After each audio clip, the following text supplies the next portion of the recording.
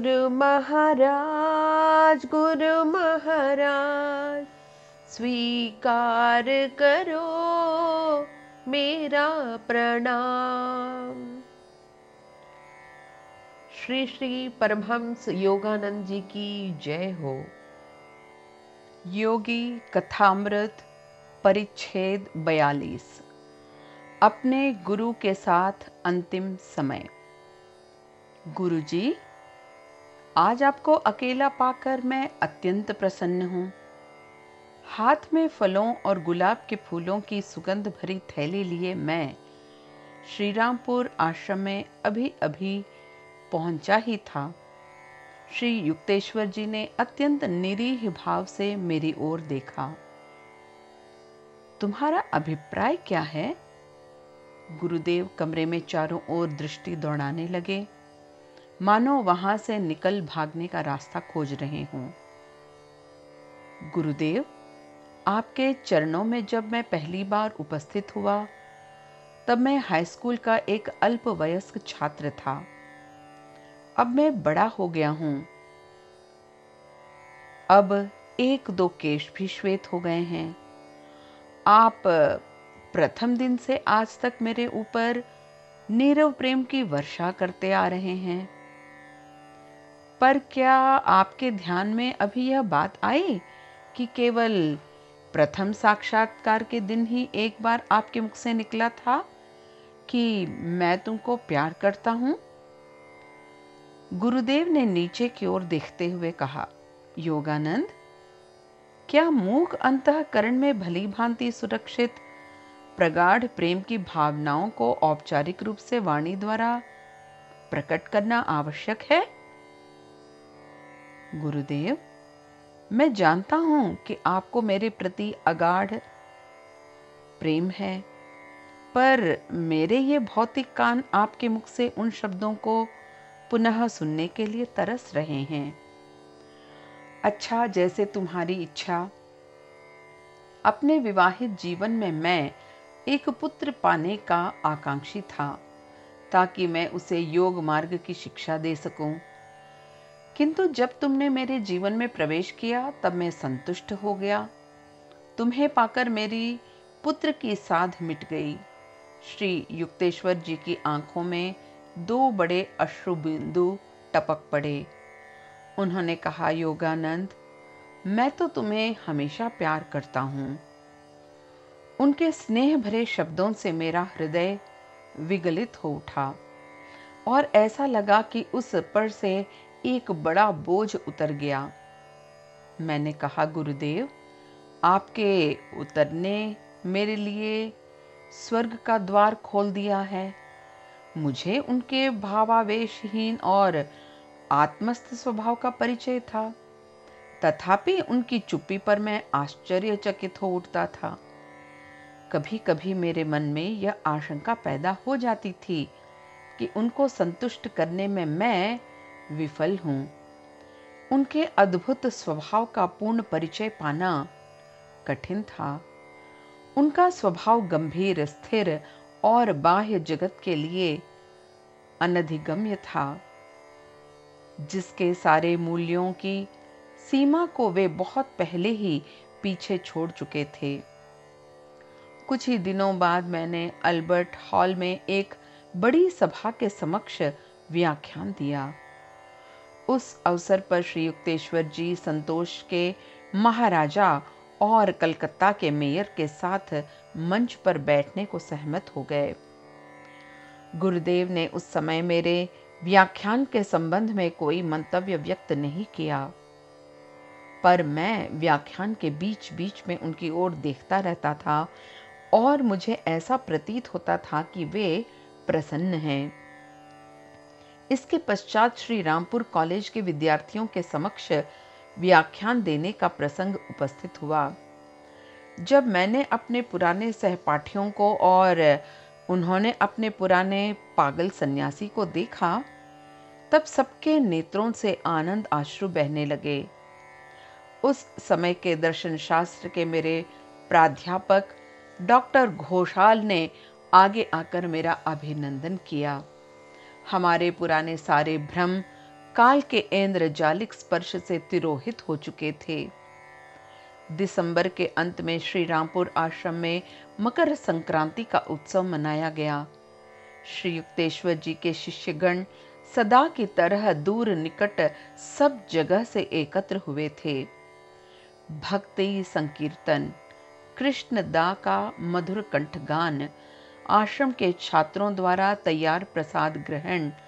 खुले आकाश के नीचे आश्रम के खचाखच भरे प्रांगण में गुरुदेव का ज्ञान गर्भित उपदेश, एक के बाद एक स्मृतियाँ, सुखद स्मृतियाँ, तथापि आज की रात एक नया कार्यक्रम होने वाला था। योगानंद, आज की सभा में तुम व्याख्यान दो। अंग्रेज़ी में अत्यंत असाधारण अनुरोध करते समय गुरुजी की आँखों में कौतूहल सी हँसी चमक रही थी। जहाज़ में पहली बार अंग्रेज़ी में वक्तृता देने का प्रसंग उपस्थित होने पर मेरी जो दुर्व्यवस्था हुई थी, क्या वही बात उन्हें याद आ गई थी?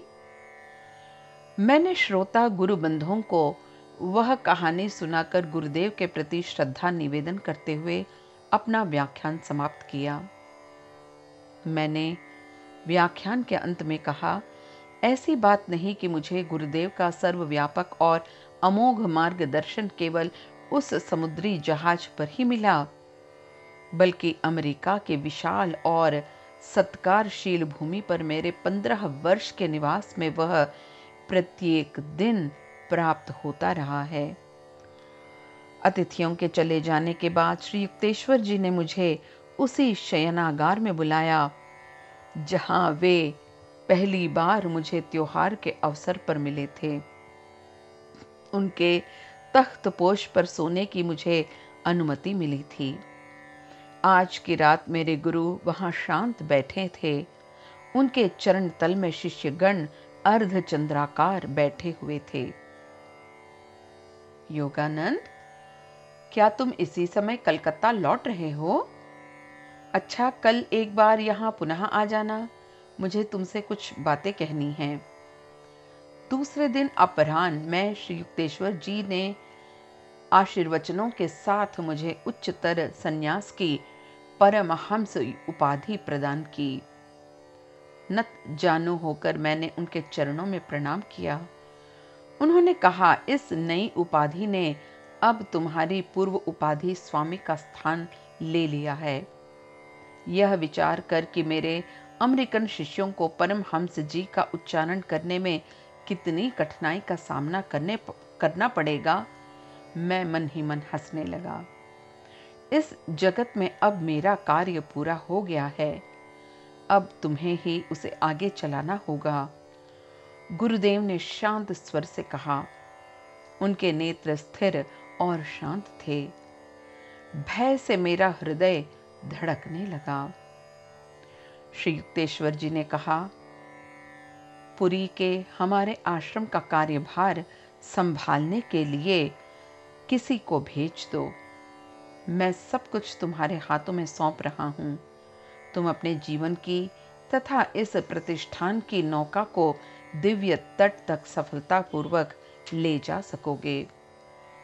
अश्रुपूरित नेत्रों के साथ मैंने उनके चरणों को हृदय से लगा लिया।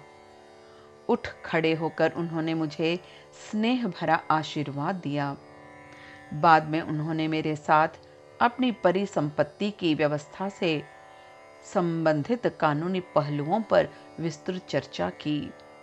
ऐसी संभावना थी कि उनके शरीर त्याग के बाद उनके सगे संबंधी दो आश्रमों एवं उनकी अन्य संपत्तियों पर कब्जे के लिए मुकदमाबाजी शुरू कर देंगे। वे इस संभावना को दूर कर देने के लिए उत्सुक थे, क्योंकि उनकी इच्छा थी कि उनकी संपत्ति केवल धार्मिक एवं जनोपकारी कार्यों के लिए ही अर्पित कर दी जाए। एक दिन अपराह्न में मेरे गुरु बंधु अमूल्य बाबू ने मुझे बताया, हाल ही गुरुजी के खिदीरपुर जाने का प्रबंध किया गया था, पर वे नहीं गए। यह सुनकर मेरा सारा शरीर अपशकुन की आशंका से सिहर उठा। मेरे बार बार पूछने पर श्री युक्तेश्वर जी ने उत्तर दिया, अब मेरा खिदरपुर जाना नहीं हो सकेगा।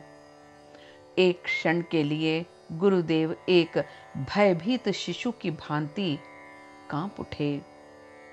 अश्रुरुद्ध कंठ से विनती भरे स्वर में मैंने कहा गुरु जी ऐसा मत बोलिए। मेरे सामने अब ये सब बातें कभी नहीं कहिए। श्री युक्तेश्वर जी के मुख पर प्रशांत हँसी खिल उठी। यद्यपि उनका इक्यासवां वर्ष चल रहा था, तथापि वे काफ़ी स्वस्थ और बलिष्ठ दिखाई पड़ रहे थे। दिन प्रतिदिन गुरुदेव की नीरव किंतु प्रखर स्नेह धारा का रस पान करते हुए, उनके भावी तिरोधान के विविध संकेतों को मैंने मन से निकाल दिया। गुरुदेव को बंगला पंचांग से कुंभ मेले की तिथि दिखाते हुए मैंने कहा, गुरुदेव, इस मास प्रयाग में कुंभ मेला लग रहा है। क्या तुम कुंभ मेले में सचमुच जाना चाहते हो? मैं यह नहीं समझ पाया कि उनकी इच्छा नहीं है कि मैं कुंभ मेले में जाऊँ। मैंने कहा, एक बार आपने कुंभ मेले में बाबा जी का पुण्य दर्शन प्राप्त किया था। शायद इस बार मुझे भी वह दुर्लभ सौभाग्य प्राप्त हो जाए? मैं नहीं समझता कि वहाँ उनसे तुम्हारा साक्षात्कार होगा। यह कहकर मेरे गुरु मौन हो गए। वे मेरे कार्यक्रम में बाधा डालना नहीं चाहते थे। जब दूसरे दिन प्रातःकाल मैंने एक छोटे दल के साथ प्रयाग के लिए प्रस्थान किया, तब गुरुदेव ने अपने स्वाभाविक ढंग से शांति से मुझे आशीर्वाद दिया। स्पष्ट है कि श्री युक्तेश्वर जी के व्यवहार का अर्थ क्या है, यह मैं उस समय ठीक ठीक समझ नहीं पाया। शायद इसका कारण यह हो रहा है कि भगवान की यह इच्छा नहीं थी कि अपने गुरु के महाप्रयाण को मैं नितांत निरुपाय और असहाय रूप से देखता रहूँ। मेरे जीवन में हमेशा ऐसा ही संयोग रहा है कि जब कभी मेरे किसी प्रियजन की मृत्यु हुई, भगवान कृपा करके मुझे उस करुण दृश्य से दूर रखने की सदा व्यवस्था करते आए हैं अपने दल के साथ मैं 23 जनवरी 1936 को कुंभ मेले में पहुँच गया। प्रायः 20 लाख लोगों की जन मेदिनी उमड़ पड़ी थी। कितना विराट और अद्भुत दृश्य था वह। अदने से, अदेने किसान के अंतकरण में भी आत्मा के मूल्य तथा भगवत प्राप्ति के लिए सारे सांसारिक बंधनों से मुक्त साधु संतों के प्रति जो पूज्य भाव है वह भारतीय जनता की एक विशेषता है। अवश्य ही छद्मवेशियों और पाखंडियों की भी कमी नहीं है। पर उन थोड़े से सच्चे साधु संतों के कारण, जिनके आविर्भाव से सारा देश ईश्वरीय आशीर्वाद से पुनीत हुआ है, भारतीय जनता समस्त साधु समाज के प्रति श्रद्धा भाव रखती है। जिन पाश्चात्यों ने यह विराट दृश्य देखा है उन्हें राष्ट्र की नाड़ी के स्पंदन और उस आध्यात्मिक उत्साह का दर्शन करने का अपूर्व अवसर मिला है, जिसके बल पर काल के कठोर आघात के सम्मुख भी भारत अदम्य प्राण शक्ति प्राप्त करता रहा है। पहले दिन का समय केवल इधर उधर घूम फिरकर देखने में ही व्यतीत हो गया। पाप प्रक्षालन के लिए हज़ारों यात्री गंगा के पवित्र जल में स्नान कर रहे थे। ब्राह्मण, पुरोहित, शास्त्रोक्त विधि से पूजा पाठ, हवन आदि कर करा रहे थे। शांत साधु सन्यासियों के चरणों में धार्मिक जनता नाना प्रकार के भक्ति अर्घ्य अर्पित कर रही थी। पंक्ति के बाद पंक्ति, हाथी दल, आभरण अलंकार से सज्जित अश्व दल और राजपुताना के धीमी गति से चलने वाले ऊँट कतार में धीरे धीरे चल रहे थे। उनके पीछे हाथों में रेशम या मखमल की पताकाएँ तथा सोने और चांदी के दंड लिए नागा साधुओं का विचित्र धार्मिक जुलूस चल रहा था। केवल कौपिन धारण किए साधु सन्यासी छोटे छोटे दलों में शांति के साथ बैठे थे।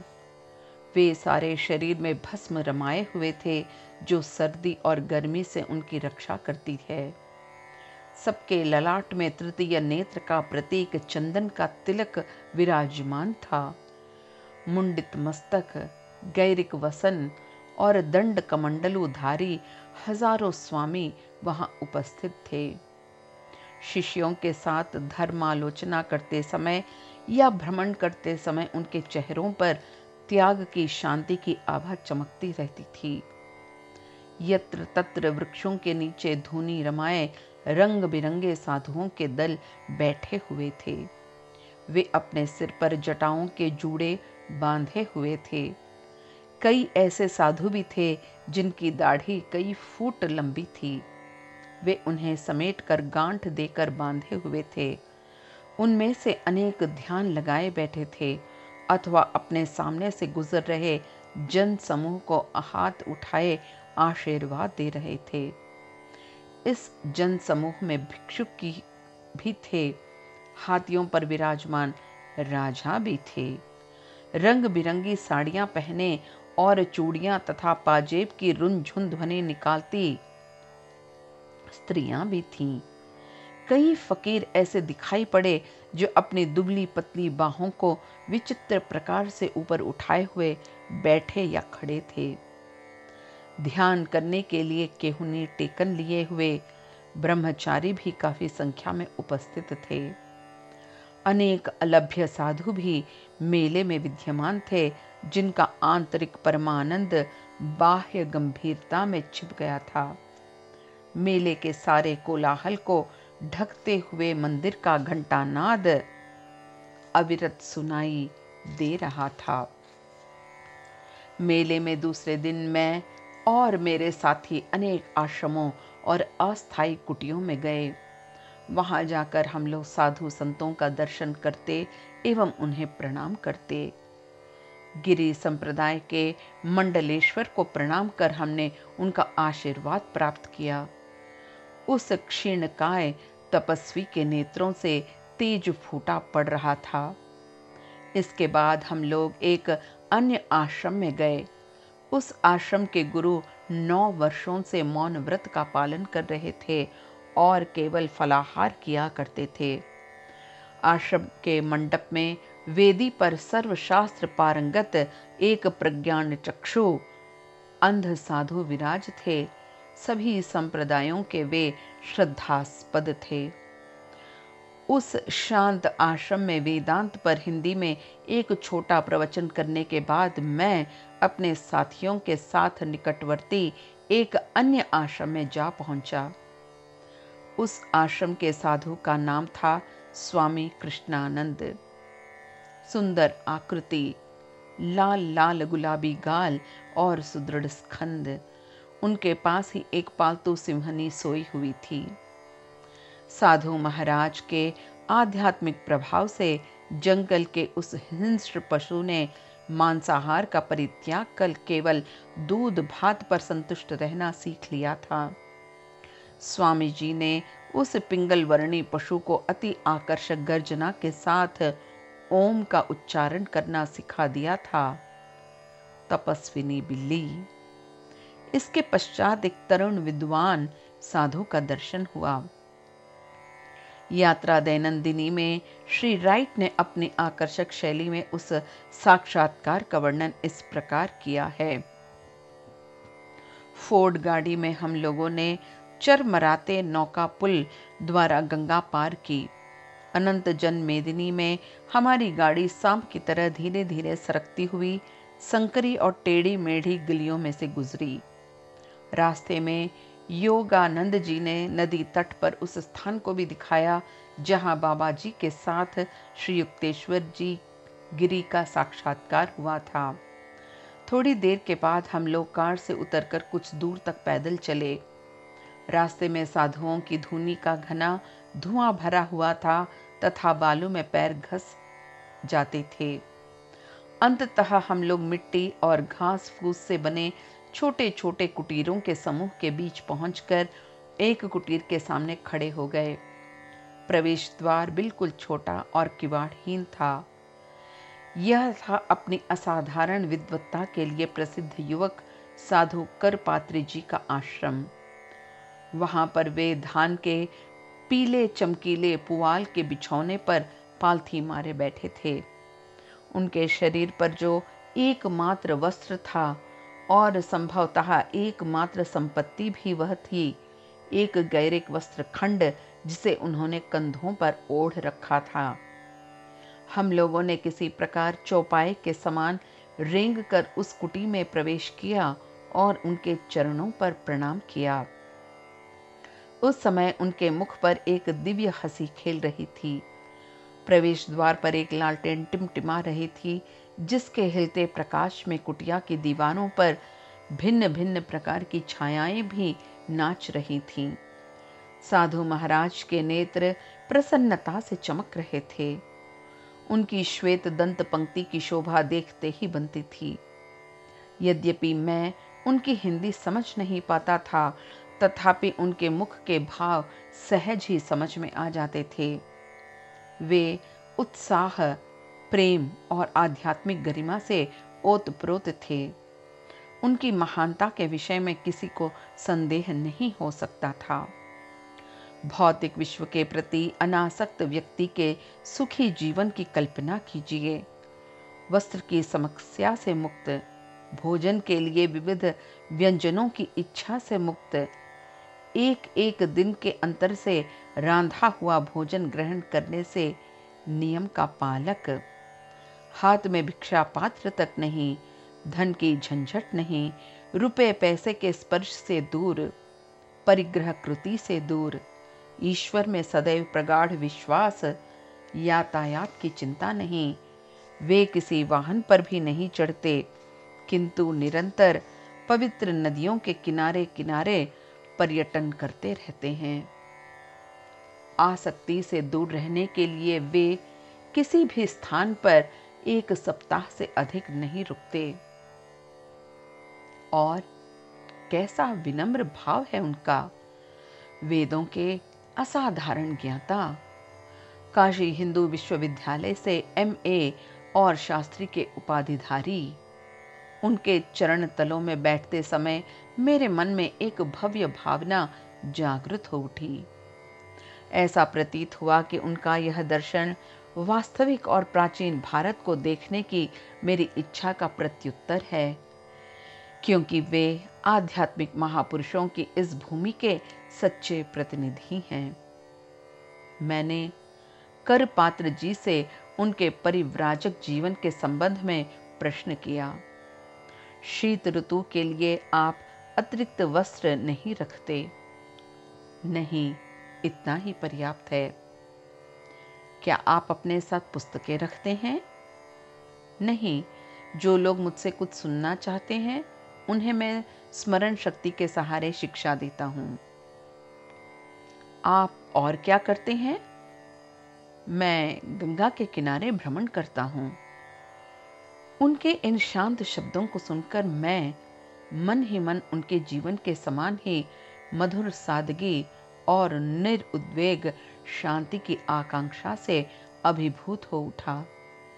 मुझे अमेरिका का और साथ ही अपने भारी उत्तरदायित्वों का ध्यान हो आया।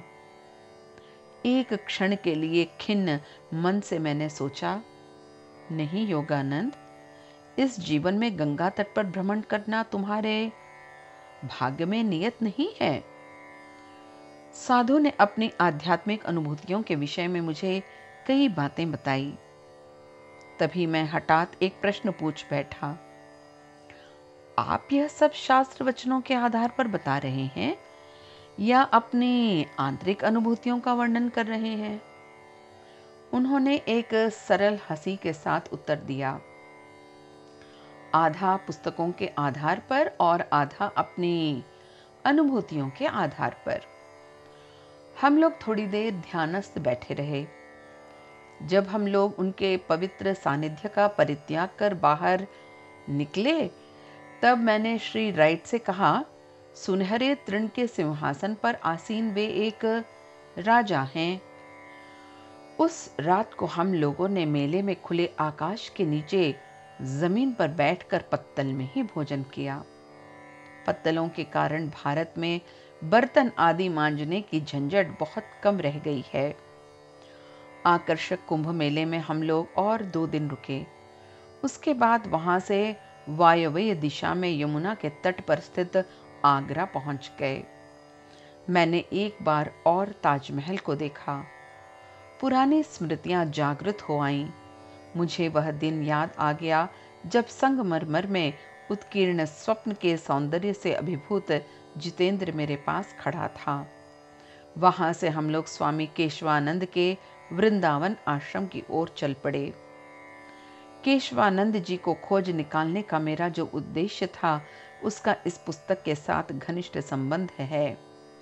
लाहिड़ी महाशय का जीवन चरित्र लिखने के लिए श्री युक्तेश्वर जी ने जो अनुरोध किया था, उसे मैं भूला नहीं था। भारत में अपने निवास के मध्य योग अवतार जी के प्रत्यक्ष शिष्यों और संबंधियों से संपर्क स्थापित करने के प्रत्येक सुयोग का मैं उपयोग कर रहा था। उन लोगों के साथ हुए वार्तालाप को मैं विस्तृत रूप से लिपिबद्ध कर लेता था। संबंधित घटनाओं की तिथियों का ठीक से मिलान कर लेता था तथा फोटोग्राफ, पुराने पत्र एवं कागजात का संग्रह करता जाता था। लाहड़ी महाशय संबंधी मेरी सामग्री निरंतर बढ़ने लगी। मेरे सामने पुस्तक प्रणयन का जो श्रम साध्य भार था, उसके विषय में सोचकर मुझे घबराहट सी होने लगी मैंने भगवान से प्रार्थना की कि, हे प्रभु, मुझे वह शक्ति दो जिससे मैं इस महान गुरु के जीवनी लेखक के अपने कर्तव्य को सफलतापूर्वक निभा सकूँ। उनके अनेक शिष्यों को यह आशंका हो रही थी कि उनके गुरु के विषय में लिखित विवरण से कहीं उनके गुरु का अवमूल्यन न हो जाए, या उनके संबंध में कुछ गलत वर्णन न छप जाए। एक बार पंचानन भट्टाचार्य ने मुझसे कहा था कि कोई भी लेखक अवतारी पुरुषों की जीवनी नहीं लिख सकता। योग अवतार लाहिड़ी महाशय के अन्य प्रमुख शिष्य भी अपने अमर गुरु को अपने अंतकरण में ही छिपाए रखना चाहते थे। तथापि, लाहड़ी महाशय ने अपनी जीवनी के विषय में जो भविष्यवाणी की थी, उसे ध्यान में रखते हुए मैंने उनके बाहरी जीवन के तथ्यों का संग्रह करने एवं उन तथ्यों के सत्यासत्य का प्रमाण खोज निकालने में कोई चेष्टा नहीं रखी। स्वामी केशवानंद जी ने वृंदावन स्थित अपने कात्यायनी पीठ आश्रम में हमारे दल का हार्दिक स्वागत किया। आश्रम के चारों ओर सुंदर उद्यान था तथा उसका विशाल भवन ईंटों से बना हुआ था, जिसमें काले काले खंभे लगे हुए थे। वे तुरंत हमें बैठक काने में लिया ले गए, जिसके औसारे में लाहड़ी महाशय का चित्र टंगा हुआ था। स्वामी केशवानंद जी की आयु नब्बे वर्ष के लगभग थी। परंतु उनके सुगठित शरीर से शक्ति और स्वास्थ्य फूटा पड़ रहा था। सुदीर्घ केश और हिम श्वेत दाढ़ी तथा आँखों में आनंद की झलक। वे प्राचीन ऋषि के मूर्त रूप थे। मैंने उनको बताया कि मैं भारत के गुरुओं से संबंधित अपनी पुस्तक में उनका भी उल्लेख करना चाहता हूँ। महान योगी लोग प्रायः अधिक नहीं बोलते। तथापि मैंने हँसते हुए आग्रहपूर्वक अनुरोध किया कि कृपया अपने पूर्व जीवन पर कुछ प्रकाश डालिए। केशवानंद जी ने विनम्र भाव से कहा, मेरे बाह्य जीवन के संबंध में कोई उल्लेखनीय बात नहीं है। वस्तुतः मेरा सारा जीवन हिमालय के निर्जन पर्वतों में एक शांत गुफा से दूसरी शांत गुफा में पैदल घूमते हुए व्यतीत हुआ है। कुछ समय तक हरिद्वार के बाहर बड़े बड़े वृक्षों के बीच एक छोटे से आश्रम में मैं रहता था। वह एक शांत स्थान था जहाँ बहुत कम यात्री जा पाते थे, क्योंकि उस क्षेत्र में भारी संख्या में गेहुवन सर्प निवास करते थे। इतना कहकर केशवानंद जी मुस्कुरा उठे। उन्होंने पुनः बताया, बाद में गंगा की बाढ़ उस आश्रम को और साथ ही गे हुए वन सांपों को भी बहा ले गई। उसके बाद मेरे शिष्यों की सहायता से यह वृंदावन आश्रम तैयार हुआ है। हमारे दल के एक सदस्य ने स्वामी जी से पूछ लिया कि हिमालय के व्याघ्रों से उन्होंने अपनी रक्षा कैसे की। स्वामी केशवानंद ने अपना सिर हिलाते हुए कहा कि हिमालय जैसी ऊँची आध्यात्मिक भूमि पर जंगली जानवर योगियों को कदाचित ही परेशान करते हैं। एक बार जंगल में बाघ के साथ मेरा सामना हो गया, पर मेरे मुख से जो हठात ध्वनि निकली, उसे सुनकर बाघ पत्थर की मूर्ति की तरह जड़ हो गया। उस घटना की स्मृति से स्वामी जी पुनः मुस्कुरा उठे। उन्होंने पुनः बताया कि बीच बीच में मैं एकांतवास छोड़कर अपने गुरु से मिलने बनारस जाया करता था। हिमालय के जंगलों में मेरे अनवरत परिभ्रमण के लिए वे मेरा परिहास करते थे। उन्होंने मुझसे एक बार कहा कि तुम्हारे पाँव में भ्रमण चक्र है। मुझे इस बात की खुशी है कि हिमालय पर्वतमाला तुमको परिभ्रमण रत रखने के लिए पर्याप्त विशाल है। केशवानंद की बात जारी रखी। लाहड़ी महाशय ने अपने महाप्रयाण के पहले और बाद में भी अनेक बार मुझे संदेह दर्शन दिया है। उनके लिए हिमालय का ऊँचे से ऊँचा स्थान भी अगम्य नहीं है। दो घंटे बाद वे हमें लेकर भोजन कक्ष में पहुँचे। मैं तो मन ही मन घबरा उठा। यहाँ भी पंद्रह प्रकार के व्यंजन। अमेरिका से आए अभी एक वर्ष से कम भी समय हुआ था। पर भारतीय आतिथ्य के फलस्वरूप इस अल्प अवधि में ही मेरा वज़न 50 पौंड बढ़ गया था। पर मेरे सम्मान में आयोजित अनंत भोजों में यत्नपूर्वक तैयार की गई भोज्य सामग्रियों को अस्वीकार कर देना चरम अभद्रता ही होती। भारत में हृष्ट पुष्ट देह वाला अलमस्त स्वामी एक मनोरम दृश्य माना जाता है। रात्रि भोजन के उपरांत केशवानंद जी मुझे एक एकांत कोने में ले गए, जहाँ उन्होंने कहा, मेरे पास आपका आगमन अप्रत्याशित नहीं है। आपके लिए मेरे पास एक संदेश भी है। मैं आश्चर्यचकित हो उठा। केशवानंद जी से मिलने की अपनी योजना के विषय में मैंने किसी को भी कुछ नहीं बताया था।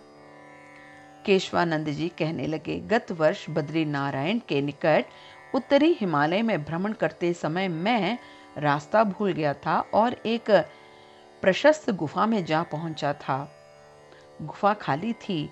हालाँकि उसके अंदर एक गड्ढे में धुनी जल रही थी। मैं अग्नि के पास बैठकर यह सोचने लगा कि इस एकांत गुफा में आखिर कौन निवास करता है? मेरी आँखें सूर्य किरणोज्वल गुफा द्वार की ओर लगी हुई थी।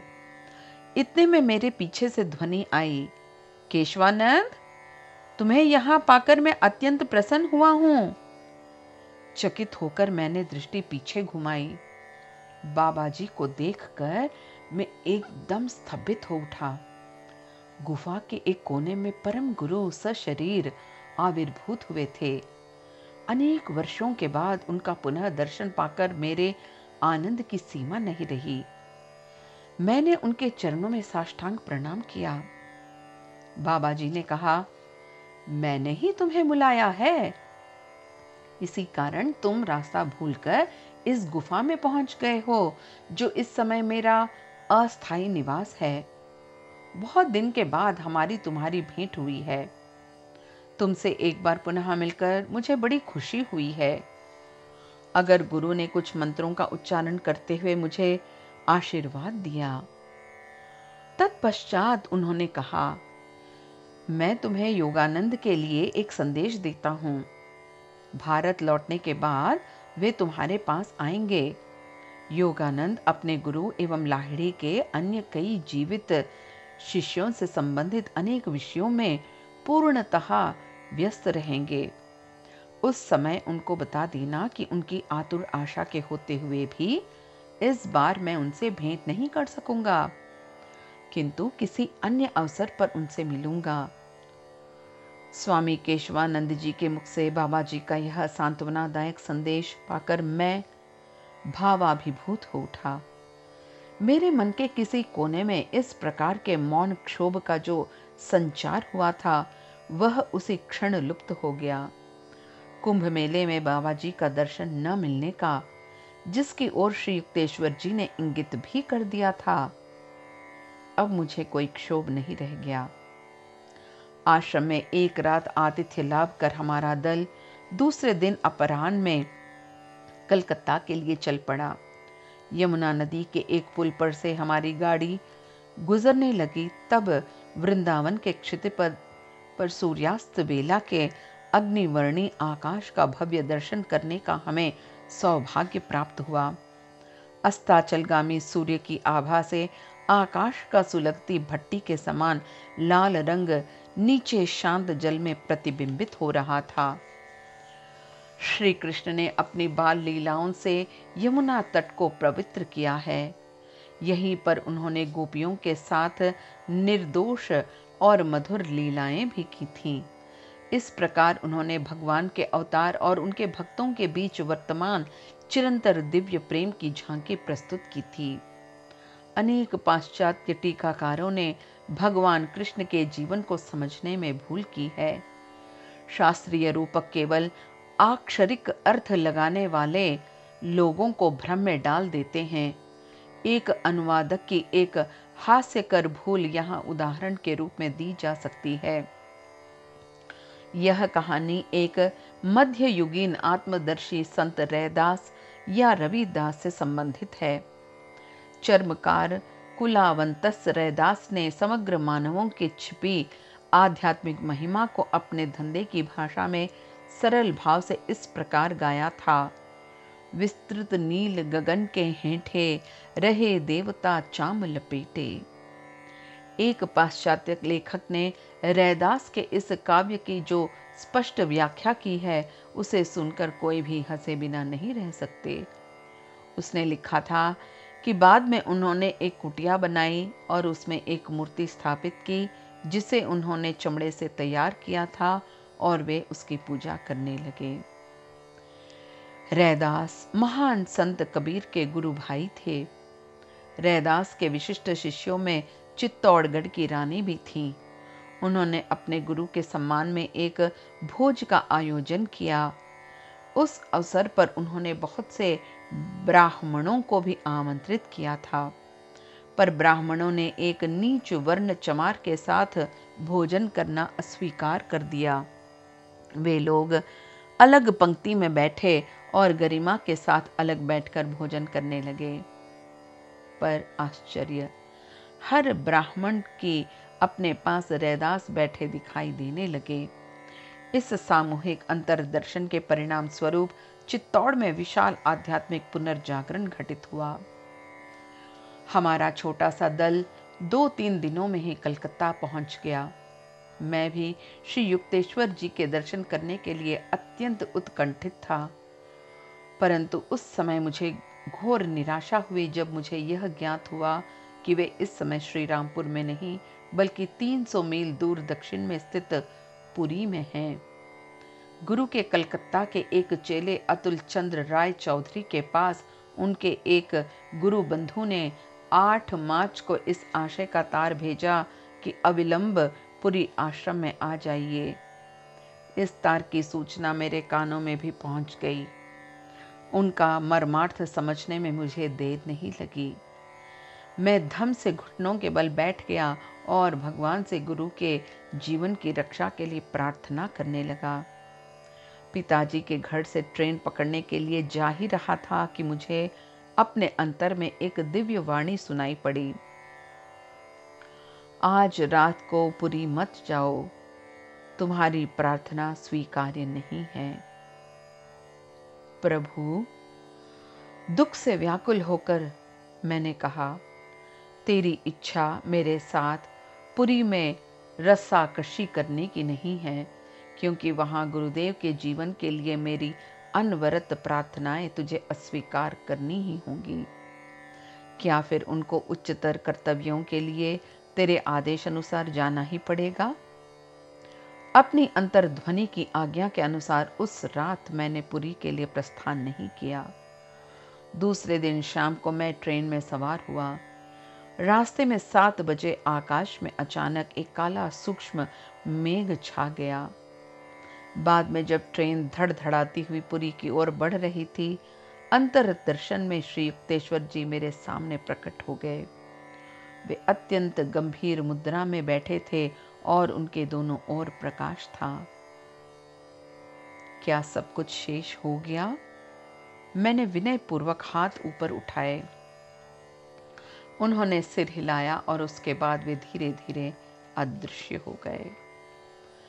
जब मैं दूसरे दिन पूरी स्टेशन के प्लेटफॉर्म पर आशा के विपरीत आशा संजोए खड़ा था, तब एक अज्ञात व्यक्ति ने मेरे पास आकर कहा क्या आपने अपने गुरु के देह त्याग की खबर सुन ली है? और कोई भी शब्द न कहते हुए उक्त व्यक्ति मेरे पास से चला गया। मुझे कभी इस बात का पता नहीं लग सका कि वह व्यक्ति कौन था या उसे यह कैसे मालूम हुआ कि मैं कहाँ मिलूँगा। मैं सन्न रह गया और प्लेटफॉर्म की दीवार पर ढल पड़ा। मैं यह जान गया कि मेरे गुरुदेव नाना उपायों से मेरे पास यह हृदय विदारक समाचार पहुँचाने की चेष्टा कर रहे हैं। मन में प्रचंड विद्रोह उबल रहा था और मेरा हृदय ज्वालामुखी के समान धधक रहा था। जब मैं पूरी आश्रम में पहुँचा, तब मेरा धीरज टूट चुका था। उस समय अंतर में बार बार एक मृदु ध्वनि होने लगी, धैर्य धारण करो, शांत हो। मैंने आश्रम के उस कमरे में प्रवेश किया जहाँ पद्मासन में बैठा गुरुदेव का निष्प्राण शरीर कल्पनातीत रूप में जीवंत के समान लग रहा था। उस समय भी उनका शरीर अत्यंत स्वस्थ एवं कमनीय था। कुछ दिन पहले मेरे गुरु को हल्का बुखार अवश्य हुआ था, पर अनंत धाम में आरोहण के एक दिन पूर्व उनका शरीर पूर्णतः स्वस्थ हो गया था। मैं उनके प्रिय शरीर की ओर बारंबार देखता था, पर किसी भी तरह मैं यह नहीं अनुभव कर पाता कि उसमें से प्राण चला गया है। उस समय भी उनका गात्र चर्म चिकना और कोमल था। उनके आनंद पर स्वर्गीय आनंद की शांति विराजमान थी। उन्होंने रहस्यमय आमंत्रण पर अंतिम मुहूर्त में सचेतन भाव से शरीर पर परित्याग किया था। मैं शोकाभिभूत होकर चीतकार कर उठा। बंगाल का सिंह आज चला गया। 10 मार्च को मैंने उनकी अंतिम विधि संपन्न की। पुरी आश्रम के उद्यान में सन्यासियों की प्राचीन शास्त्रीय परंपरा के अनुसार श्री युक्तेश्वर जी के पार्थिव शरीर को समाधि दी गई। बाद में गुरुदेव का तिरोभाव उत्सव मनाने एवं उनके श्रद्धांजलि अर्पित करने के लिए निकट और दूर सब जगह से उनके शिष्य महाविष्णु संक्रांति अर्थात वसंत संपात के अवसर पर एकत्र हुए।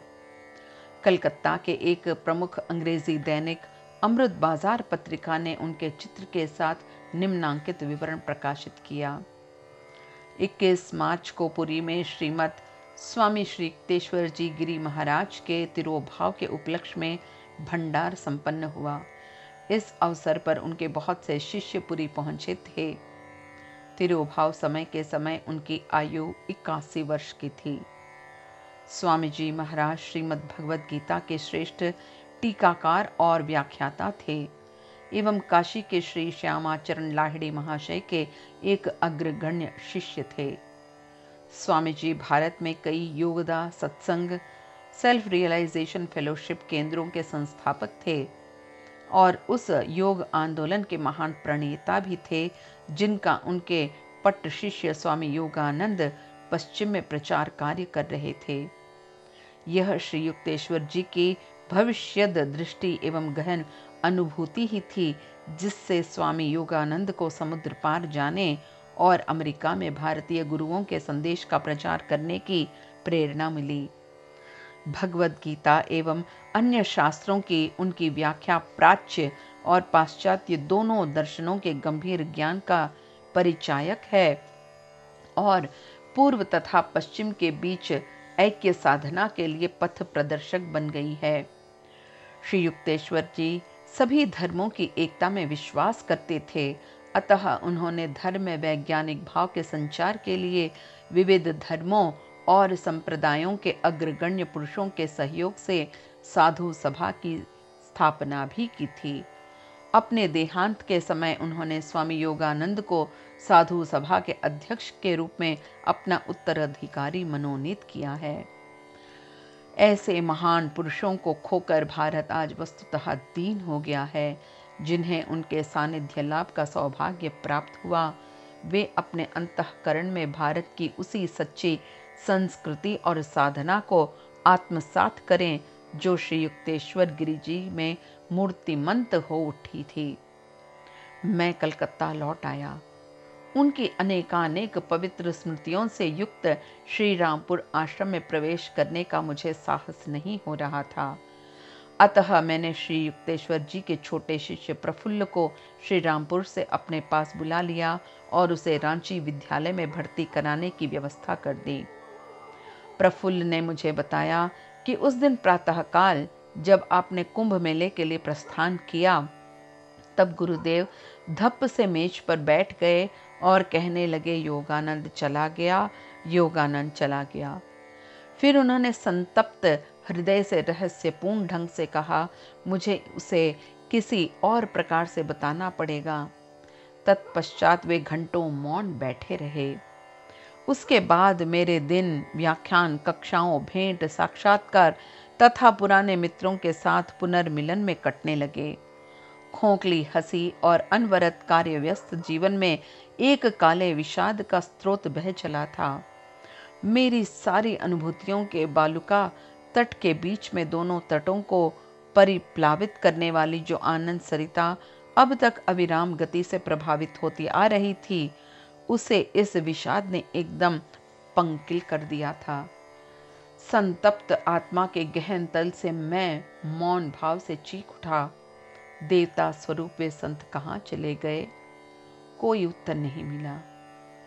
मेरे मन ने मुझे आश्वासन दिया, यह उचित ही है कि गुरुदेव का परमात्मा के साथ पूर्ण मिलन हो गया है। वे अमर लोक के स्वर्ग राज्य में निरंतरन रूप से विराजमान हैं। मेरे हृदय ने विलाप किया, अब तुम उन्हें पुराने श्री रामपुर आश्रम में पुनः कभी नहीं देख सकोगे। अब तुम कभी भी अपने मित्रों को उनसे मिलने के लिए नहीं ला सकोगे। और न अब गर्व के साथ यही कह सकोगे कि देखो ये हैं भारत के ज्ञान अवतार।